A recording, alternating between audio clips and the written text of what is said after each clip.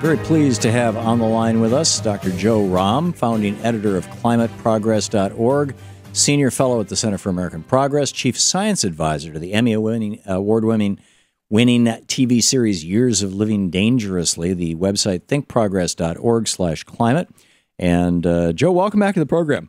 Oh, thanks for having me, Thom. Thanks for joining us. Uh, I, I want to get to the story of so so far the summer of 2015, which is kind of wrapping up right now. Looks like it's the hottest in in uh, uh, certainly recorded history, maybe even human history.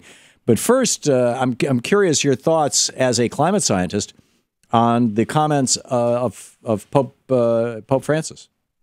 Well, you know, I think it's just it's very important for for you know important uh, moral voices to speak out that climate inaction is is immoral and and we can't we can't you know just use up the planet's soil and and oceans and climate uh, today and leave leave something ruined for the next you know 50 generations. So I, I think it's been very important. He he said some very strong remarks um, at the uh, uh, White House today, and he's speaking in front of Congress tomorrow, and he's expected to to again make strong remarks. And everyone should read his encyclical. It's it's an inspiring document and and well worth quoting.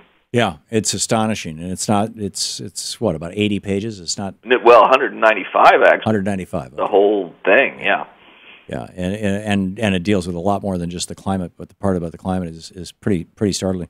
Um, the where where are we at in in the in the broad sweep of understanding climate change and understanding how that's affecting um, a our climate and b our weather?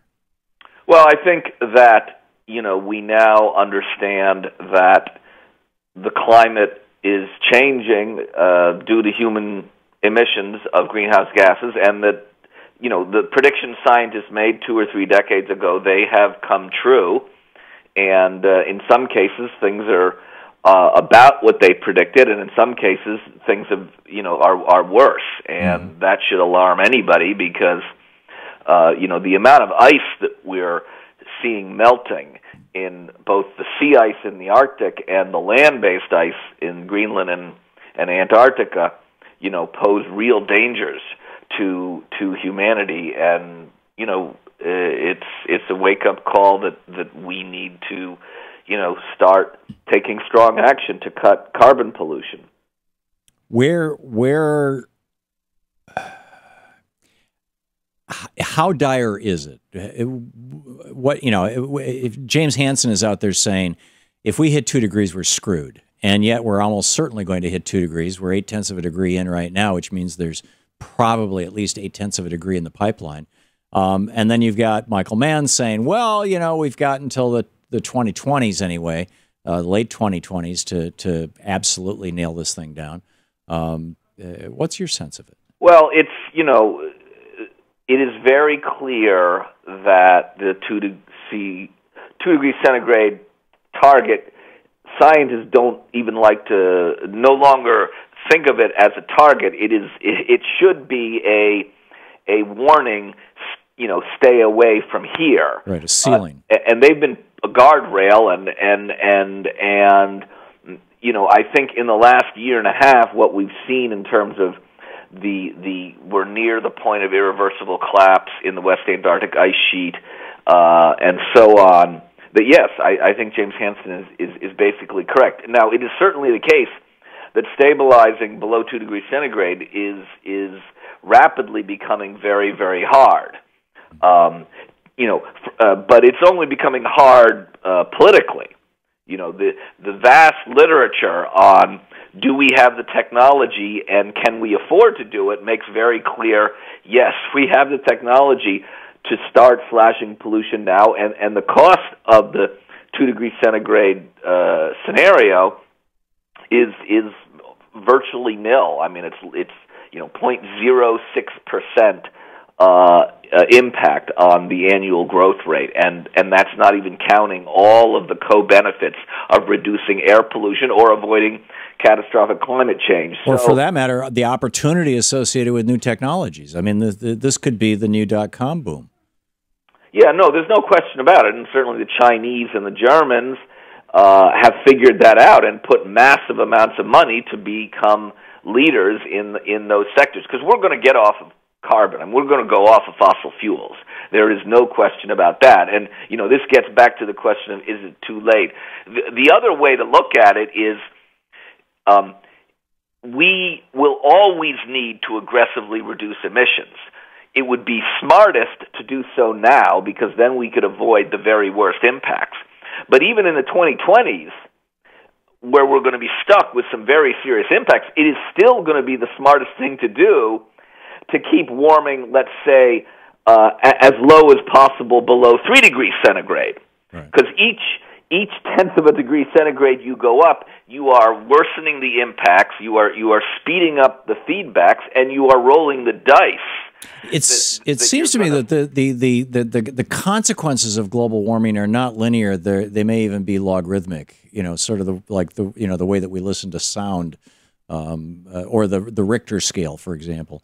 Uh, well, what, yeah, are, what are your thoughts people, on that? It's like it's like a snowball that starts at the top of the hill yeah. and and can turn into a, a a wildly destructive avalanche if it's allowed to build and build and build. And and at some point it is there's no question at some point it is too late to intervene to avoid uh, uh, catastrophe. But but you know I hate to say it there are you know there are differences uh, different uh, types of catastrophe.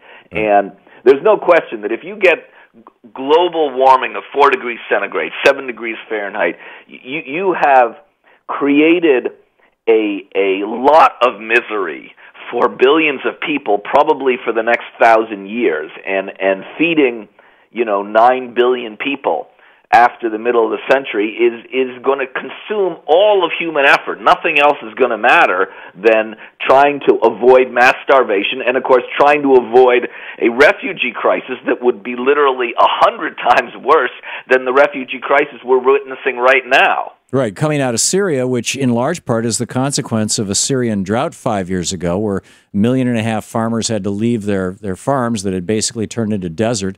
They went into the cities and the Assad government failed to provide any sort of jobs or benefits or anything for them, and that that led to the to this to the uprising and the civil war. I, I think it's reasonable to call these people climate refugees, and I'm astonished that the press doesn't reference that more often. Your thoughts? Yeah, you know, as you know, Years of Living Dangerously, we had a whole segment where Tom Friedman went to actually went into Syria. He's a, he's a wild and crazy guy, and right. and and uh, and it, by the way, the t- the the all nine episodes of the TV series are now on Netflix. Oh, great! And great. if you missed it, we just announced uh, last week that we have season two on National Geographic Channel uh, next fall and we're going to have new celebrity, some of the old celebrity correspondents like Tom Friedman, and some new ones, including David Letterman.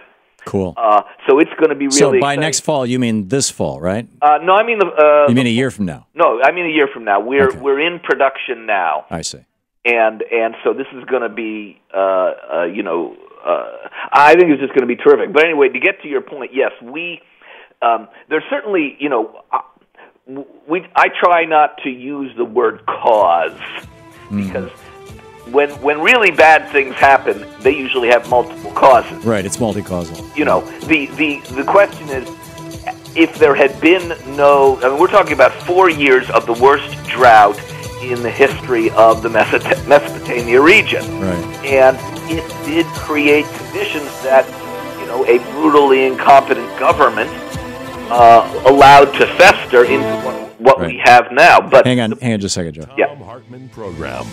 Uh, Joe, I'm sorry, we're out of time. Ah. Uh, Joe Romm, founding editor, climateprogress.org uh, and thinkprogress.org. Thank you. Thank you, Joe.